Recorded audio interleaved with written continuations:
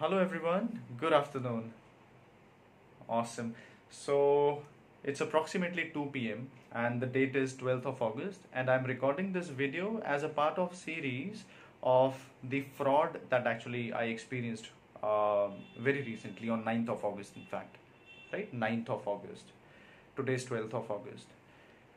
Now, uh, this morning I received a message from ICICI Bank. As you already know that ICICI Bank, I'm a customer to them, right? I received a message from them saying that uh, uh, this amount has been claimed by the, and then I, I just read that thing there.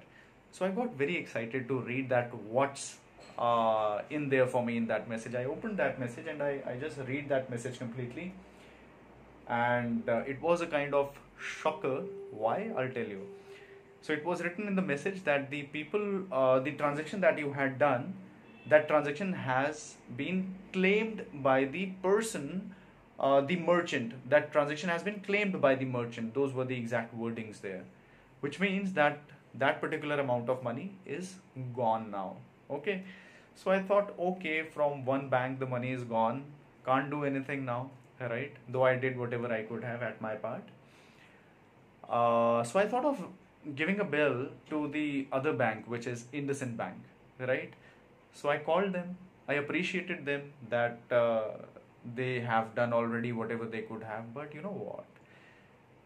To my surprise what exactly happened when i called the customer care executive she said uh, yes sir thank you very much for calling in and uh, yes i can see like before i could explain anything to her she said yes sir i see notes on your uh, account that on 9th of august you had called in right? On 9th of august you had called in and on that day you could not receive the complete support the uh, the customer care officer he could not help you because you disconnected the call in the middle.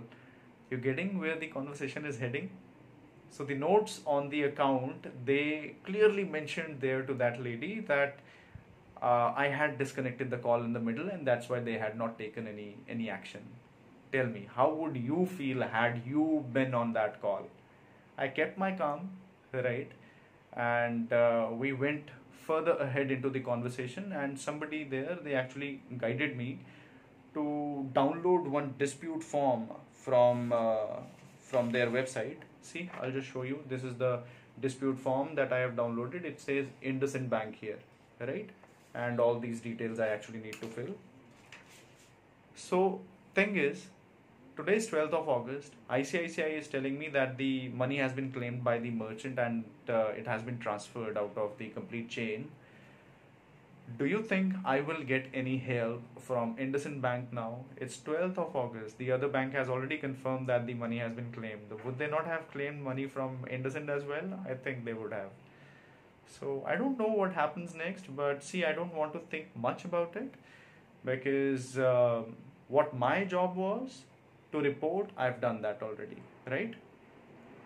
What happens, I cannot do anything about it, right?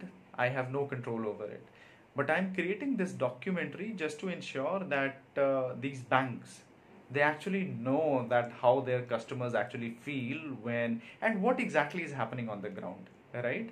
My initial motive to create these videos or this series of videos was to ensure that i share awareness with everyone right? But now the situation is that see you, you must be looking at my beard right? I have not been even able to get my uh, my beard done for the past two three days right? It's growing every day.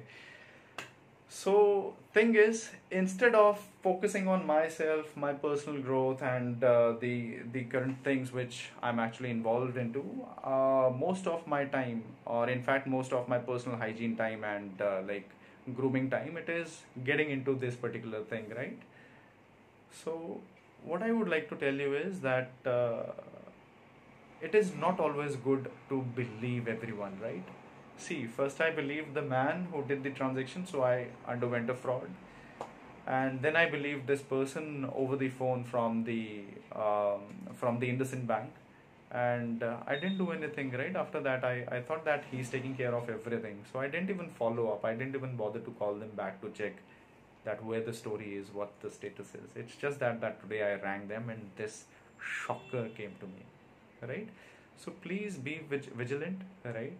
And i wish you all the best so that uh, you are not experiencing things and feelings which i'm going through right now.